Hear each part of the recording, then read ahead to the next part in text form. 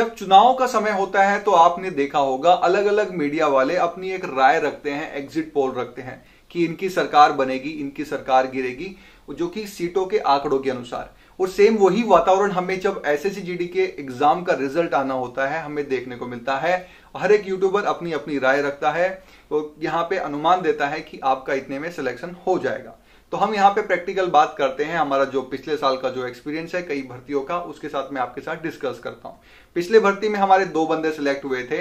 पहला लड़की का नाम है अतुल महतो, लड़की का नाम है सबनम शेख। दोनों ही की वीडियो मैंने डिस्क्रिप्शन डाल रखे हैं, आप जाके फ़ायदा उठा सकते हैं। कंप्लीट वीडियो है मेडिकल से लेके पूरी डिटेल हमने दी है।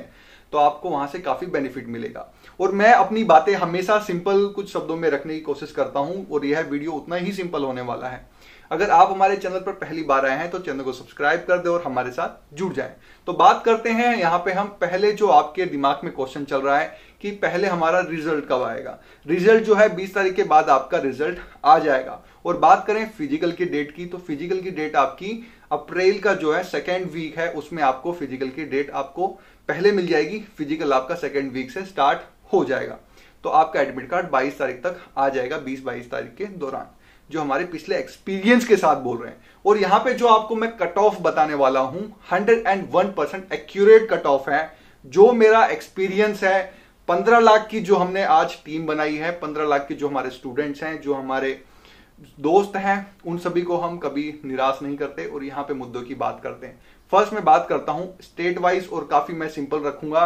केवल मैं यहाँ पे अनरिजर्व कैटेगरी की बात कर रहा हूँ ओबीसी एस सी की बात नहीं कर रहा हूँ। यहाँ पे जो अनरिजर्व कैटेगरी की जो मैं कट ऑफ़ बता रहा हूँ, उससे 10 मार्क्स आप कम लेके चले, जो कि आपको समझ में आ जाएगा कि आपकी कट ऑफ़ कितनी रहने वाली है। और यहाँ पे जो मैं आपको अनरिजर्व कैटेगरी की जो कट ऑफ़ बता रहा हूँ, इतने अगर आपके मार्क्स हैं तो आप बेफिक्र हो जाएँ और अपने फ़िज़िकल की तैयारी स्टार्ट कर दें। बात करता हूँ आंध्र प्रदेश की। अगर आपके 60 मार्क्स आते हैं तो आप सेफ़ हैं, आप क्वालिफाई कर दोगे रिटर्न एग्ज़ाम अगर आपने 60 मार्क्स का पेपर आप लिख के आए हैं। तो यहाँ पे बात करें झारखंड की तो 85 मार्क्स यहाँ पे मांगे गए हैं सेफ़ अनरिजर्व कैटेगरी के लिए। कर्नाटक की बात करूँ तो 55 मार्क्स आपके होने चाहिए। केरला की बात करूँ तो 65 60 मार्क्स आपके होने चाहिए। गुजरात की बात करूँ तो 60 मार्क्स हरियाणा की बात करूँ तो 100 मार्क्स आपके होने चाहिए एग्ज़ाम क्वालिफाई करने के लिए। हिमाचल की बात करूँ, हिमाचल प्रदेश की 85 मार्क्स आपके मिनिमम होने चाहिए। आपने जो पेपर अटैम्प्ट किया है, उसमें आंध्र प्रदेश की बात करूँ तो सिक्सटी माइव सिक्सटी मार्क्स का अगर आपने क्वालिफाई किया है तो आप क्वालिफाई कर दोगे। असम की बात करूँ तो फिफ्टी मार्क्स मिनिमम होने चाहिए आपके। बिहार की बात करूँ तो हंड्रेड मार्क्स का अगर आपने पेपर किया है तो आप क्वालिफाई कर दोगे। आपका रिज़ल्ट में, आपका रिज़ल्ट आ जाएगा।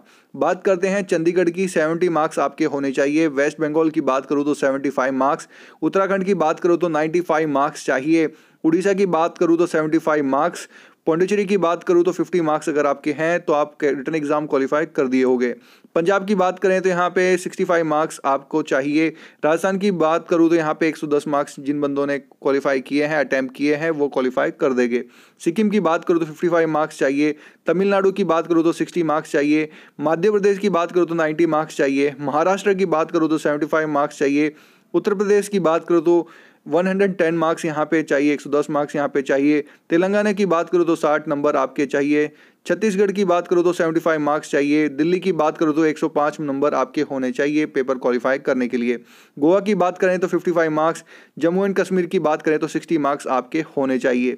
ये हमने आपको बता दिया है जर्नल की। चाहे ओबीसी से हो एससी से हो एस से हो, अगर आपकी ये मार्क्स हैं तो आप सेफ़ हो जाएँ और आप फ़िज़िकल की तैयारी पर ध्यान दें, आप क्वालिफाई कर चुके हैं और एडमिट कार्ड आपका जो फ़िज़िकल के लिए है, वो जल्द ही आपको मिल जाएगा रिज़ल्ट आपका जल्द ही डिक्लेयर हो जाएगा। आशा करते हैं कि हमारे द्वारा दी गई जानकारी आपको अच्छी लगी होगी। 20-22 तारीख का आप इंतज़ार करें, अप्रैल में आपका फ़िज़िकल होने वाला है। थैंक्स फॉर वॉचिंग और वीडियो जय हिंद, जय भारत।